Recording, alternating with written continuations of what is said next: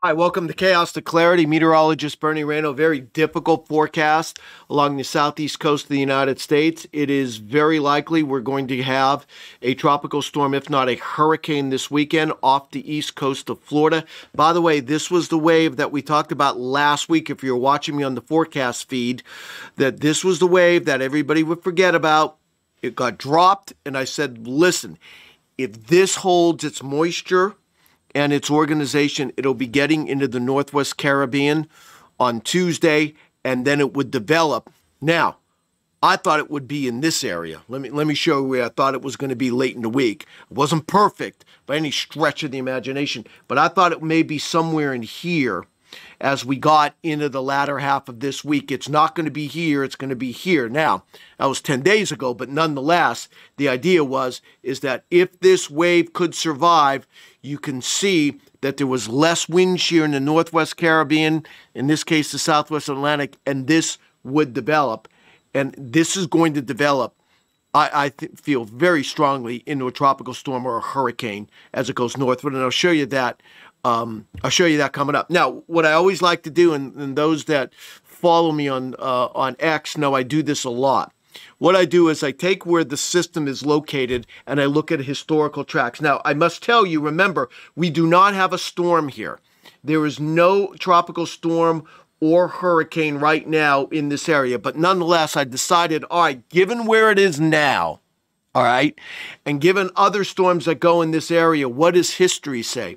it is interesting that history says there are two main paths out to sea, number one, and in toward the Gulf, number two, and toward Florida. Those are the two main paths, history says. Now, the pattern rejects this one. That is, that it goes toward the east coast of Florida into the Gulf. The, the pattern doesn't suggest that, but I do think it is interesting that history says this far south, they usually go here or they go here. They don't go where we think this could go into the Carolinas. And also, the the the other part of this that's going to complicate this is that you're going to have Humberto off to the east. What impact will that have? So it gets a little murky, especially as we get into early next week. I don't think there's much, um, many forecast problems from now into the weekend because I do think that this is going to develop. And I'll show you why. What I want to do is I'm going to show you the European model, all right, where it tracks it. And then we're going to look at the wind shear. We're going to look at 200 middle bar, 40,000 feet into the atmosphere, and show you why I think this will go into a uh, into a uh, a tropical storm, certainly a tropical storm. So let me show you where it is now. Now you're looking at energy, right? This is Humberto. You can see the white and the red. That's showing you a lot of energy. This is where it is this evening. And you'll notice not much to it. All right. Let's add, but now here's the reason for that. Here's where it is. What does the wind shear look like right now? Here's the wind shear right here. There is some westerly wind shear, so it's located here, and you can see there's west wind shear. But look up here. Look up here. You see this light area of winds in here. That's where this is going. And there's sufficient moisture and water temperatures are like 84, 85 degrees. All right, let me go ahead because we have limited time. This is tomorrow evening. Now, you'll notice not much on the European tomorrow evening. There it is. Little yellow here. It's uh, south of the Turks and Caicos right here. There it is. What does the wind shear look like? Uh, wind shear in that area right in here all right, you're starting to get light wind shear. And you can see this little pocket of light wind shear in here. So expect for this to start getting organized tomorrow evening. Now, you're going to notice the difference in this moving forward. Let's go back. This is it. Friday evening, you see where it is. Let's go. Boom, boom, boom. Okay, now Saturday evening, just north of the Turks and Caicos. Look at all the red showing up here. By the way, this is Humberto, which should be a hurricane by then. Look at the 200, 200 millibar, winds at 40,000 feet, very light wind shear. You see where it is? It's right here in this pocket of low wind shear. Not only that, you can see an outline of high pressure aloft. All right, so right in here, you see that little area? So it's a high pressure system aloft. It's right underneath it, which means low wind shear, sufficient moisture, water temperatures in the middle 80s. Watch what happens going forward here. Let's move forward. There it is. Let's go to Sunday afternoon, Sunday evening. Then all of a sudden you see more red. There it is. Northern Bahamas. And where is it? Tucked in here.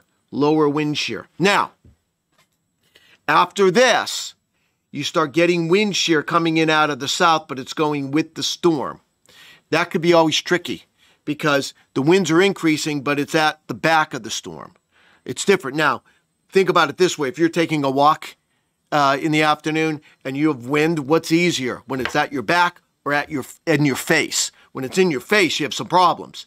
That's what's going on now with this system. It has wind shear coming in the opposite direction that it's going, right? So it's trying to move to the northwest and the wind shear is coming in from the west. That's why it's getting sheared. But what's going to happen is low wind shear, and then by the time we get into Sunday, well, it's trying to move north, but the wind shear is coming at its back, right? And oftentimes, even with southern, even with the wind shear at its back, you can intensify the storm. So that's why I think this is going to hold as a tropical storm, even hurricane, as it moves forward. All right. So I feel pretty comfortable that this is what's going to happen here. I want to show you this. This is kind of an idea of what's going to happen. Let me uh, let me put this on play. So this is a little track that we have here. So let me put my camera on full. So I feel pretty comfortable that it's going to take this move, and then by Sunday, it's right in here. Sunday afternoon, it's off the Florida coast. Probably a tropical storm, maybe a hurricane. The question then becomes where it gets murky is what happens here next week. Is it here or is it out? That's the million dollar question, isn't it? What I want to do is I want to show you some modeling on this. And I'm going to show you I'm not a big believer of the hurricane models. I, I'm just not. I know a lot of meteorologists, especially on TV, that's all they'll show you. I like, you know what I like? I like the global models because I just think they have a better idea of the overall steering flow. I'm going to show you four, and you can take a look at them, and then we'll talk about what I think is going to happen. So here we are. I'm going to take this this is the American model Sunday evening. All right, let me put this full for you. So this is the American model Sunday evening where I want you to zone in as I show you on these models these mo- this box. All right? This is the American model and what's going on. I'll, I'll break it down a little more for you, but there's the American model. Watch where it takes it. Sunday evening, Monday morning, Monday evening into the South Carolina coast, just between Charleston and Myrtle Beach. All right, that's the American model. Let's go to the European model. Sunday evening. Where does it take it? Now it's a little slower, but it takes it where? Where does it take it? This is the European. It takes it right toward Charleston. That'll be Monday night. That's the American, that's the European model, right? This is the Canadian model. Sunday evening. Where does it take it? Right near Myrtle Beach. This is the interesting one. This is the UK Met. This is the British model. Watch what it does. Doesn't do anything with it. You notice that? Doesn't have anything. It's trying to, but it weakens it. I think it sees Humberto here. And I think it believes Humberto is going to put some wind shear on it and weaken it. That's possible. You can't rule that possibility out. That's what makes me nervous about this situation. If we didn't have Humberto here, I would feel very comfortable taking this into the Carolinas because you can see why. You've got an upper low here. You've got high pressure over here, right? Let's You've got a steering flow taking this northward into the Carolinas. I thought I, if it wasn't for Alberto, I'd tell you that's pretty much game, set, match. That we would have a hurricane, certainly a tropical storm, if not a hurricane, coming ashore anywhere between uh, Charleston and uh, Cape Lookout, North Carolina. Because historically, when you're talking about storms coming toward the Carolinas, that's where they go. They typically don't make landfall south of Charleston, but you do have Humberto there. And that's what makes things tricky. So I want to show this to you, and I'll be using the GFS on this. Um, so let me let me show you what we're going to be looking at here. So let me show you this. This is a simplified version of what I just showed you. I'm going to go full on this. So this is this. Let me, it's right here. Sorry. Okay. So this is Sunday at noon. Here's the, what's going on. So Sunday at noon, you've got an upper low here, and here's the high pressure system. So let's assume Humberto's not here. You would have a steering flow that would guide this system right toward the Carolina coast. All right? But we can't say that. We do have an Humberto here. So the question is, is does Humberto disrupt the steering flow? Instead of going like this, does it cause it to slow down? I could see where it slows down and then goes out to sea. I could also see how this imparts wind shear. The UK Met shows this, remember? Weakens it, and then it kind of goes out and away from the North Carolina coast. Now, none of the global models say, except for the UK Met, say that that's going to happen. But I do want to let you know that is a possibility. If it wasn't for Humberto, I would say it's coming in. But we can't say that right now. I think it's more likely than not that it will take that track toward the Carolina coast and make landfall somewhere along the Carolina coast. Now, normally, if you know, and, and even if Humberto does impart some influence on this, I still could see it going to the Carolina coast. Now, history tells us storms going to the Carolina coast make landfall where? Anywhere from Charleston to the Outer Banks, maybe uh, uh, toward Cape Hatteras, that this would be the area. But with Humberto here, that could really screw up the flow, and I guess I could see it coming a little farther south as well. So right now, if it makes landfall, I would tell you it's this would be the area from about Cape Hatteras all the way down to the Georgia South Carolina coast state line. But I will tell you, history says that it's usually up the coast, which is here to here. There's one more concern I want to talk about. And we haven't issued a track on this yet because we're not exactly, until we get a good low level center, we think we have it, but I, I, we have to figure this out what the impact on Humberto is. But I do want to show you one concern I do have. If it makes this landfall, and comes in at the angle that some of the models are showing, this, this could be very, very problematic for the coastal, for the mountains and the coast of the Carolinas. I, I want to show you this. I am not here to hype it. I'm just telling you the concerns. Right now, we think it's more likely that it does make a landfall as a tropical storm or hurricane along the Carolina coast Monday evening. However, because of Humberto, there is a wide range of possibilities that could include this slowing down and pulling away from the Carolina coast, and there won't be any, there won't be as severe impacts. But one thing I am worried about, just looking at some of the modeling here, and I'll show it to you, moving, uh, moving forward here. Let's go for it. See, I want to show you the the European model. The way in which it comes in, if the European is right like this and it has a little farther south, you see how it's coming in at an angle like this. An angle coming in like this.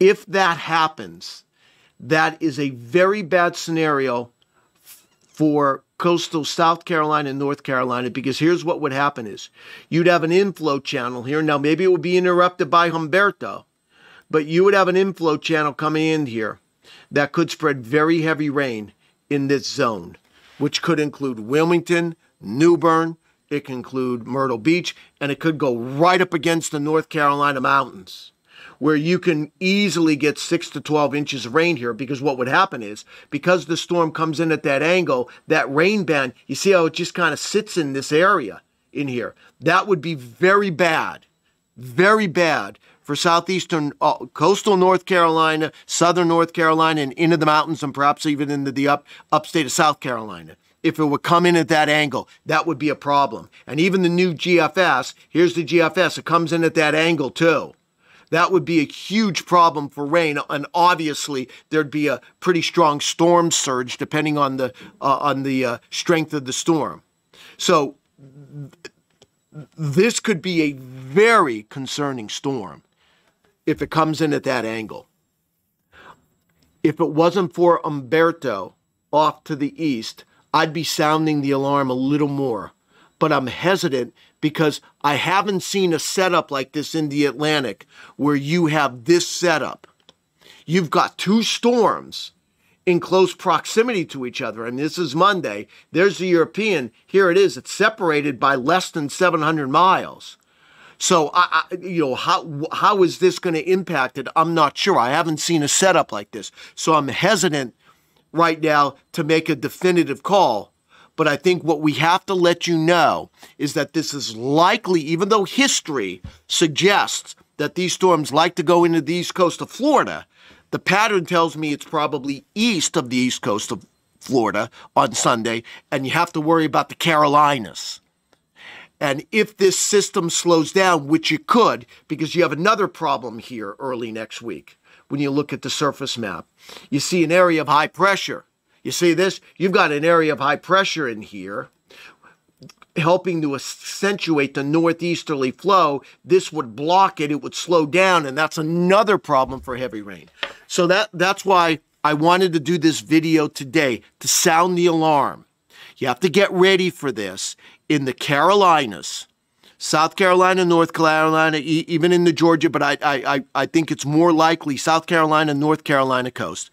All right and you have to start to get ready for a landfalling storm here Monday night. I could see it moving out to sea because of Humberto and, and maybe weakening because Humberto becomes so strong it puts shear in. I don't know how this is going to work at the current time, but where I look at, the Carolina coast has to get ready for a landfalling storm. We're going to keep you updated here on AccuWeather.com uh, the AccuWeather Network. I'll t- be talking about this on uh, AccuWeather Early all day tomorrow. Really difficult forecast moving forward here, and I want to leave you with this. All right, I'm going to leave you with this.